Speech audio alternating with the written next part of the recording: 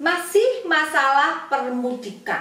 Mengingat tahun 2022 ini euforia mudik lebaran pulang kampung sungguh nyata terasa. Mengingat sudah dua tahun dilarang mudik lebaran sama pemerintah karena corona. Betul kan? Nah, hasrat ingin mudik pasti sudah tidak terbendung. Walaupun secara teori dan secara medis tidak dianjurkan untuk mudik ketika hamil tua alias hamil di atas 36 minggu tapi balik lagi. Namanya juga kangen pengen mudik. Pengennya pakai banget banget banget banget. Bagaimana? Tetap aja banyak yang nekat. Pokok merasa semua aman aku bisa kok aku bisa kok pede gitu. Udah mudik aja. Ayo cus. Pede mudik gitu kan. Nah ayo siapa yang gitu?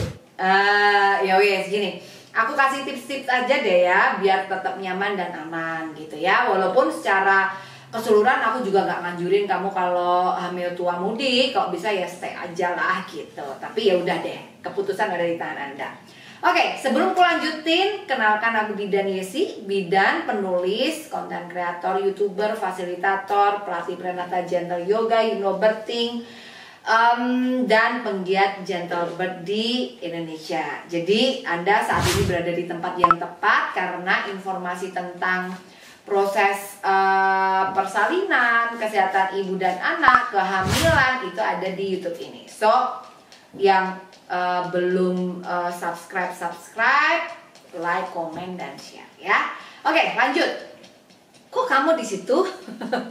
nah, Sebenarnya kalau hamil tua kan memang sebaiknya jangan mudik, pulang kampung dulu, ya kan? Apalagi kalau perjalanan jauh, apalagi kalau antar pulau harus naik pesawat terbang. Wes please urungkan niatmu dulu, mengingat selain beresiko juga biasanya kalau maskapai penerbangan pun punya aturan dan batasan penumpang yang hamil maksimal uh, naik pesawat itu maksimal 32 minggu rata-rata kan begitu. Nah, tapi kalau perjalanan darat ya tergantung mode transportasi yang digunakan dan jarak tempuh serta rute yang digunakan. Nah, ini tips-tipsnya. Yang pertama, usahakan Anda memilih menggunakan kendaraan pribadi yang nyaman dan supaya lebih fleksibel. Itu saranku kalau perjalanan darat ya. Yang kedua, tips secara teknis, pastikan mobilmu udah diservis bensin dipenuhi, ganti oli, ban pastikan aman, tidak aus, rem, e, lampu dicek juga, kondisi AC juga dicek. Kalau freonnya kurang uh, kurang dingin tambahin, karet wipernya juga mesti dicek. Ini ingat musim hujan dan uh, semuanya pokoknya total dicek semuanya. Jika memungkinkan dan jika perjalanan jauh lebih dari 5 jam, coba pertimbangkan menggunakan jasa driver. Yang ini habis kayaknya. Oke kan? Oh, habis memorinya.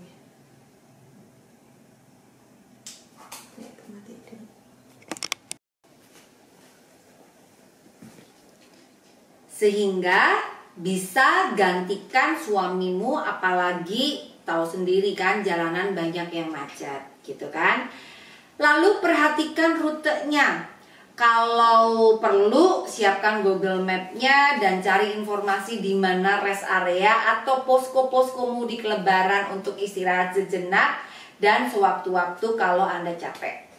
Cek juga letak pom bensin, toilet umum, mengingat membawa penumpang ibu hamil guys itu lumayan lebih repot daripada yang lain karena pasti bentar-bentar pipis.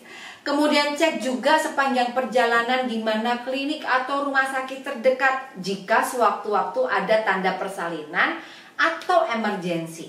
Semoga sih tidak terjadi apa-apa. Tapi kalau ternyata di tengah jalan Anda KPD, ketuban pecah dini atau kontraksi, ya mau nggak mau melipir, pindah haluan, cari klinik atau rumah sakit terdekat kan. Nah, harus mulai survei itu Anda.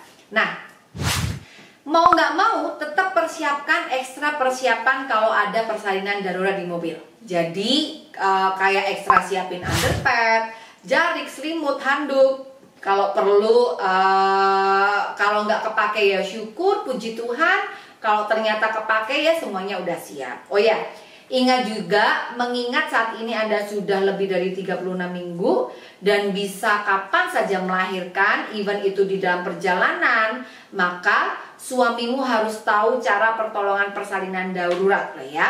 Aku udah share di video lain, nanti aku kasih linknya supaya Anda tinggal klik aja, jadi biar Anda nggak gopoh gugup gitu di jalan. Nah, pastikan sudah siapin uh, kabel-kabel colokan buat ngecas gadget Anda. Kemudian pastikan siapin playlist dan sambungkan ke audio mobil Anda biar mudik terasa menyenangkan dan tidak membosankan sembari mendengarkan musik-musik kesukaan. Itu teknis ya. Lalu ingetin selalu untuk tetap tenang selama perjalanan. Jangan ngebut, jangan emosi di jalan Jangan ugal-ugalan, gak usah keburu-buru, gak usah kesusu, nikmati perjalanan Anda. Pastikan membawa obat-obat P3K juga. Siapin botol ekstra, bantal besar, bantal kecil, bantal leher. Jadi biar Anda kalau duduk tuh sandaran itu juga enak, bisa istirahat dengan nyaman gitu ya. Kemudian siapin ekstra air minum dan cemilan, juga buah-buahan di dalam mobilmu supaya Anda tetap terhidrasi dengan baik. Lalu letakkan di tas dekat tempat dudukmu. Jangan udah nyiapin ekstra-ekstra tapi taruh di bagasi ngambilnya susah gitu kan. Jadi tempatkan di posisi yang gampang diambil ketika sewaktu-waktu Anda membutuhkan. Tiga, sebelum benar-benar memutuskan untuk mudik, usahakan periksa dulu kondisi kehamilanmu dan kondisi tubuh dan janinmu ke dokter Anda atau ke bidan Anda supaya Anda pun tetap merasa tenang. Empat, selama perjalanan usahakan Anda duduk di tempat yang lega dan pastikan tempat duduknya enak dan ada sandarannya dan Anda duduk dengan tegak dengan punggung kaki tersandar dengan baik dan nyaman. Anda bisa menggunakan ekstra bantal atau sandaran untuk membantu Anda tetap nyaman, oke? Okay? Jangan paksakan diri yang kelima. Jadi kalau merasa pegel, capek, serta pengen berhenti sejenak untuk sekedar stretching buat ilangin pegel, buat ngelurusin kaki biar kaki tidak bengkak, silahkan komunikasikan dengan driver atau suami Anda supaya mereka bisa melipir atau cari rest area yang aman dan nyaman. Nah, gimana cara stretchingnya? Udah aku posting di video lain, tinggal klik aja, aku nanti kasih linknya. Nah, saat mudik usahakan gunakan pakaian yang longgar, nyerap keringet dan nyaman. Kalau perlu gunakan maternity belt untuk menyangga perut supaya nyaman. Yang ketujuh, usahakan Anda istirahat e, bisa istirahat di kendaraan dan pastikan Anda tetap nyaman.